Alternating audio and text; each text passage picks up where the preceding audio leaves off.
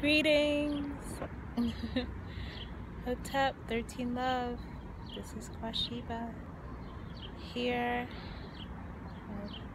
I am sharing a little message with everyone out there.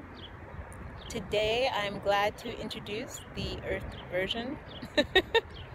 I am outside.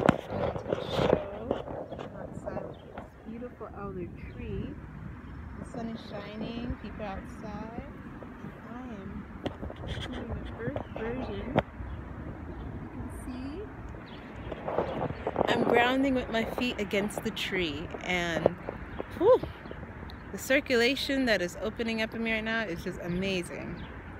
Right?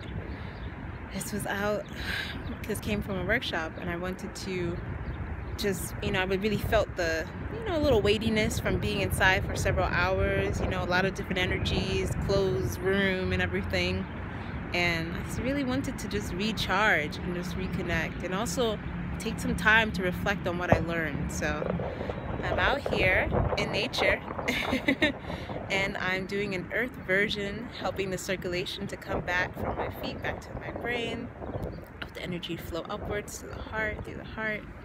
Also activating my melanin and reconnecting to the sun, being out here and also connecting to the ancestor trees I give thanks.